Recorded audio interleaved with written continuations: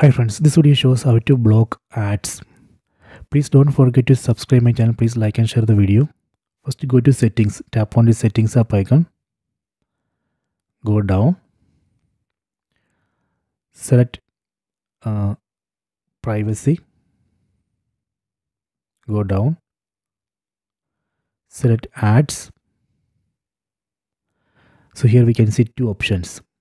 Delete our advertising ID and reset advertising id here we can see the advertising id so what google does is google store all our activities against this id then it will show ads based on those activities.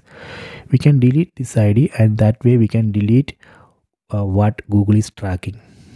We can tap on this delete advertising id then tap on delete advertising id button here.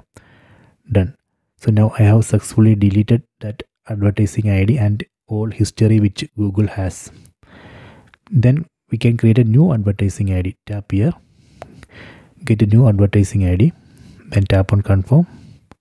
See now it just created new advertising id so this way we can uh, delete advertising id and uh, block uh, google to show personalized ads okay so please check it